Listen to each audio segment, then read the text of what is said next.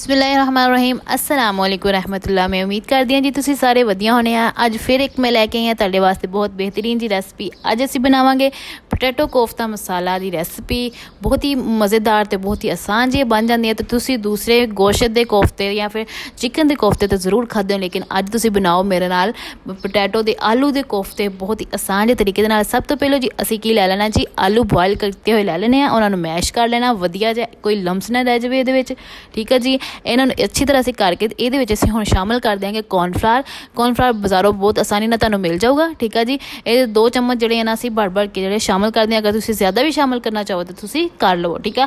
ਅੱਛੀ ਤਰ੍ਹਾਂ ਜੀ, ਅਸੀਂ ਇਹਨਾਂ ਨੂੰ ਸ਼ਾਮਲ ਕਰ ਲੈਣਾ। ਨਾਲ ਅਸੀਂ ਸ਼ਾਮਲ ਕਰ ਦਿਆਂਗੇ ਇਹਦੇ ਵਿੱਚ ਮੈਦਾ, ਠੀਕ ਆ? ਦੋਨੋਂ ਚੀਜ਼ਾਂ ਅਸੀਂ ਇਕੱਠੀਆਂ ਹੀ ਸ਼ਾਮਲ ਕਰਾਂਗੇ। ਮੈਦਾ ਵੀ ਸ਼ਾਮਲ ਕਰਨਾ ਤੇ ਅਸੀਂ ਕੌਰਨਫਲਾਰ ਵੀ ਸ਼ਾਮਲ ਕਰਨਾ, ਠੀਕ ਆ? ਇਹਦੇ ਨਾਲ ਫਿਰ ਤੜੇ ਜਿਹੜੇ ਨਾ ਕੋਫਤੇ ਉਹ ਟੁੱਟਣਗੇ ਨਹੀਂ, ਠੀਕ ਆ?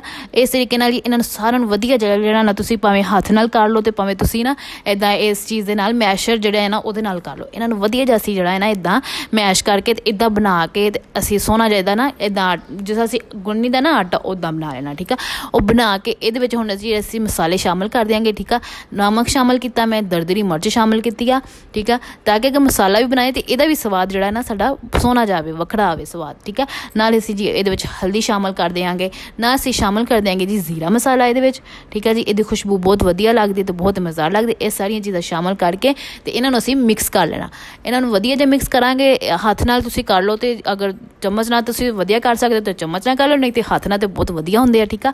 ਇਹਨਾਂ ਨੂੰ ਸ਼ਾਮਲ ਕਰਕੇ ਤੇ ਅਸੀਂ ਚੰਗੀ ਤਰ੍ਹਾਂ ਇਹਨਾਂ ਨੂੰ ਮਿਕਸ ਕਰਕੇ ਤੇ ਹੁਣ ਜੀ ਅਸੀਂ ਸ਼ੁਰੂ ਕਰਾਂਗੇ ਤੇ ਕੋਫਤੇ ਬਣਾਉਣਾ, ਠੀਕ ਆ? ਗੋਲ ਗੋਲ ਬਣਾ ਲੈਣੇ, ਤੁਸੀਂ ਹੱਥ ਨੂੰ ਲਾ ਲੈਣਾ ਘਿਓ, ਠੀਕ ਆ? ਤਾਂ ਕਿ ਇਹ ਜੁੜਨ ਨਾ ਤੇ ਹੱਥਾਂ ਨੂੰ ਨਾ ਜੁੜਨ ਤੁਹਾਡੇ, ਠੀਕ ਆ? ਇਦਾਂ ਬਣਾ ਬਣਾ ਕੇ ਅਸੀਂ ਇੱਕ ਟਰੇ ਦੇ ਵਿੱਚ ਇਹਦਾ ਟਿਸ਼ੂ ਰੱਖ ਲਵਾਂਗੇ ਟਿਸ਼ੂ ਰੱਖ ਕੇ ਇਹਦੇ ਵਿੱਚ ਅਸੀਂ ਬਣਾ ਬਣਾ ਕੇ ਸਾਰੇ ਕੋਫਤੇ ਤੇ ਰੱਖੀ ਜਾਵਾਂਗੇ। ਥੋੜੇ ਥੋੜੇ ਤੁਸੀਂ ਫਾਸਲੇ ਤੇ ਰੱਖੇ, ਤਾਂ ਕਿ ਨਾਲ ਨਹੀਂ ਰੱਖਣੇ, ਨਾਲ ਰੱਖਾਂਗੇ ਤੇ ਟੁੱਟ ਜਾਣਗੇ ਜਾਂ ਫਿਰ ਜੋੜ ਕੇ ਤੇ ਖਰਾਬ ਹੋ ਜਾਣਗੇ, ਠੀਕ ਆ? ਇਸ ਤਰੀਕੇ ਨਾਲ ਅਸੀਂ ਸਾਰੇ ਜੀ ਮਾਸ਼ਾਅੱਲਾ ਤਿਆਰ ਕਰ ਲੈਣੇ ਆ ਕੋਫਤੇ। ਅਲਹਮਦੁਲਿਲਾ ਬਹੁਤ ਹੀ ਬਿਹਤਰੀਨ ਰੈਸਪੀ ਹੈ। ਤੁਸੀਂ ਇੱਕ ਵਾਰੀ ਜ਼ਰੂਰ ਬਣਾ ਕੇ ਮੇਰੇ ਕਹਿਣ ਤੇ ਵੇਖਿਓ। ਬਣਾ ਕੇ ਦੇਖਿਓ ਤੇ ਤੁਹਾਨੂੰ ਬਹੁਤ ਪਸੰਦ ਆਊ, ਘਰ ਵਾਲਿਆਂ ਨੂੰ ਵੀ ਬਹੁਤ ਪਸੰਦ ਆਊਗਾ ਹੁਣ ਜੀ ਅਸੀਂ ਕੜਾਈ ਲੈ ਕੇ ਉਹਦੇ ਵਿੱਚ ਘਿਓ ਜਿਹੜਾ ਸ਼ਾਮਿਲ ਕਰਕੇ ਤੇ ਬਰਾਬਰ ਹੀ ਉਹਦਾ ਅਸੀਂ ਇਹਨੂੰ ਜ਼ਿਆਦਾ ਗਰਮ ਨਹੀਂ ਕਰਨਾ, ਜ਼ਿਆਦਾ ਨਾ ਠੰਡਾ ਹੀ ਹੋਵੇ। ਤੇ ਇਸ ਤਰ੍ਹਾਂ ਅਸੀਂ ਸ਼ਾਮਿਲ ਕਰੀ ਜਾਵਾਂਗੇ ਇਹਦੇ ਵਿੱਚ ਕੋਫਤੇ। ਬਿਸਮਿਲ੍ਲਾਹਿਰਰਹਿਮਾਨਿਰਰਹੀਮ ਨਾਲ ਨਾਲ ਜੀ ਤੁਸੀਂ ਇਹਨਾਂ ਨੂੰ ਹਲਾਈ ਵੀ ਜਾਣਾ ਹੈ। ਇਸ ਤਰੀਕੇ ਨਾਲ ਤਾਂ ਕਿ ਵਿੱਚੋਂ ਵੀ ਪੱਕ ਜਾਣ ਤੇ ਉੱਪਰੋਂ ਵੀ ਜਿਹੜਾ ਹੈ ਨਾ ਸੋਨੇ 골ਡਨ ਬਰਾਊਨ ਜਿਹੜੇ ਹੋ ਜਾਣ ਤੇ ਸੋਨੇ ਜੇ ਸਾਡੇ ਜਿਹੜੇ ਨਾ ਕੋਫਤੇ ਤਿਆਰ ਹੋ ਜਾਣ। ਬਾਕੀ ਵੀ ਸਾਰੇ ਵਿੱਚ ਤੁਸੀਂ ਸ਼ਾਮਲ ਕਰਕੇ ਤੇ ਇਹਨਾਂ ਨੂੰ ਹੌਲੇ ਜੀ ਹੱਥ ਨਾਲ ਤੁਸੀਂ ਬਹੁਤਾ ਜ਼ੋਰ ਕੀ ਚਮਚਾ ਨਹੀਂ ਹਿਲਾਣਾ।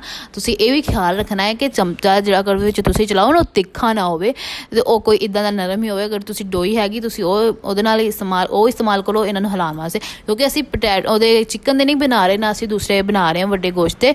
ਅਗਰ ਉਹਦੇ ਬਣਾਓ ਤੇ ਉਹ ਫਿਰ ਜਲਦੀ ਟੁੱਟਦੇ ਨਹੀਂ ਹੁੰਦੇ ਤੇ ਇਹ ਉਹ ਜੁੜ ਜਾਂਦੇ ਆ ਕਿਉਂਕਿ ਗੋਸ਼ਤ ਹੁੰਦਾ ਹੈ ਨਾ ਤੇ ਇਹ ਸਾਡੇ ਜੀ ਆਲੂ ਦੇ ਕੋਫਤੇ ਆ ਤੇ ਆਲੂ ਦੇ ਕੋਫਤੇ ਟੁੱਟਣ ਦਾ ਬਹੁਤ ਜ਼ਿਆਦਾ ਖਤਰਾ ਹੁੰਦਾ ਤੇ ਇਹਨਾਂ ਨੂੰ ਤੁਸੀਂ ਇਸੇ ਤਰੀਕੇ ਦੇ ਨਾਲ ਹੀ ਹੌਲੀ ਹੌਲੀ ਹਿਲਾਣਾ ਵਾ, ਹਲਕੇ ਹੱਥ ਨਾਲ ਹੀ ਹਿਲਾਓਗੇ ਤੇ ਇਦਾਂ ਨੂੰ ਪਕਾ ਪਕਾ ਕੇ ਇਹਨਾਂ ਨੂੰ ਜਿਵੇਂ 골ਡਨ ਬਰਾਊਨ ਜਦੋਂ ਇਹਨਾਂ ਦੀ ਇਦਾਂ ਦਾ ਰੰਗ ਆ ਜਾਵੇ, ਫਿਰ ਤੁਸੀਂ ਇਹਨਾਂ ਨੂੰ ਕੱਢ ਲੈਣਾ ਜੀ ਇੱਕ ਪਲੇਟ ਦੇ ਵਿੱਚ। ਬਿਸਮਿਲ੍ਲਾਹਿਰਰਹਿਮਾਨਿਰਰਹੀਮ।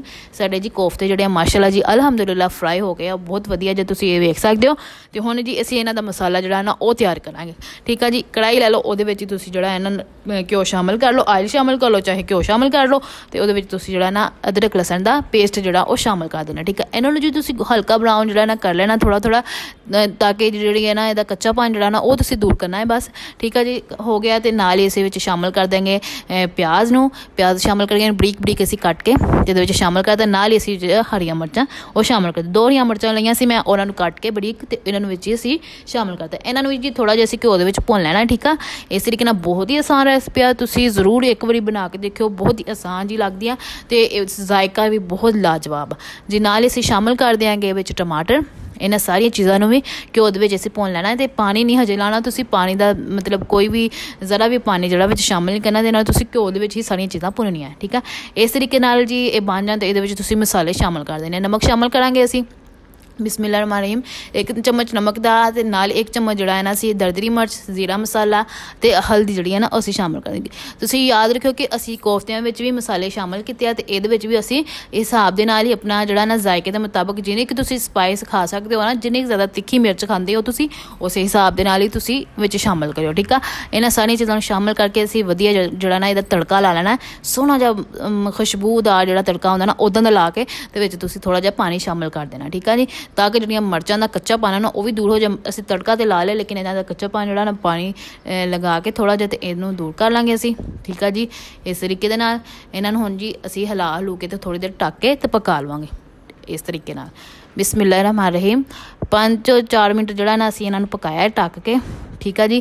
ਇਸ ਤਰੀਕੇ ਨਾਲ ਮਾਸ਼ਾਅੱਲਾ ਜੀ ਬਹੁਤ ਹੀ ਵਧੀਆ ਜਿਹੜਾ ਮਸਾਲਾ ਸਾਡਾ ਤਿਆਰ ਹੋ ਗਿਆ। ਕੋਫਤਿਆਂ ਦਾ ਮਸਾਲਾ ਤਿਆਰ ਹੋ ਗਿਆ, ਮਾਸ਼ਾਅੱਲਾ, ਅਲਹਮਦੁਲਿਲਾ ਬਹੁਤ ਹੀ ਵਧੀਆ ਤੇ ਬਹੁਤ ਹੀ ਖੁਸ਼ਬੂਦਾਰ, ਮਤਲਬ ਬਹੁਤ ਜ਼ਿਆਦਾ ਖੁਸ਼ਬੂ ਆਉਂਦੀ ਲਜ਼ੀਜ਼, ਠੀਕ ਆ ਜੀ? ਇਸ ਤਰੀਕੇ ਨਾਲ ਹੁਣ ਜਿਹੜੇ ਅਸੀਂ ਕੋਫਤੇ ਫਰਾਈ ਕੀਤੇ ਹੋਏ ਸੀਗੇ ਨਾ, ਉਹਨਾਂ ਨੂੰ ਇਹਦੇ ਵਿੱਚ ਅਸੀਂ ਸ਼ਾਮਲ ਕਰ ਦਿਆਂਗੇ। ਬਿਸਮਿਲ੍ਲਾਹਿਰ ਰਹਿਮਾਨ ਰਹੀਮ, ਇਸ ਤਰੀਕੇ ਨਾਲ ਜੀ। ਬਹੁਤ ਹੀ ਆਸਾਨ ਰੈਸਿਪੀ ਆ, ਬਹੁਤ ਹੀ ਜਿਹੜੀਆਂ ਨਾ ਅਲੱਗ ਆ ਤੇ ਡਿਫਰੈਂਟ ਜਿਹੜੀਆਂ ਮੈਂ ਮੁxtਲਿਫ ਰੈਸਿਪੀ ਤੁਹਾਡੇ ਲਈ ਲੈ ਕੇ ਆਈ ਆ। ਅਗਰ ਜੀ ਤੁਹਾਨੂੰ ਬਣਾਉਣ ਦਾ ਤਰੀਕਾ ਚੰਗਾ ਲੱਗਦਾ ਹੋਵੇ ਤਾਂ ਤੁਹਾਨੂੰ ਇਹ ਮੇਰੀ ਰੈਸਿਪੀ ਚੰਗੀ ਲੱਗਦੀ ਤੁਸੀਂ ਮੇਰੇ ਚੈਨਲ ਨੂੰ ਸਬਸਕ੍ਰਾਈਬ ਜ਼ਰੂਰ ਕਰਨਾ ਤੇ ਮੇਰੇ ਵੀਡੀਓ ਨੂੰ ਵੀ ਲਾਈਕ ਔਰ ਸ਼ੇਅਰ ਜ਼ਰੂਰ ਕਰਨਾ, ਠੀਕ ਆ ਜੀ?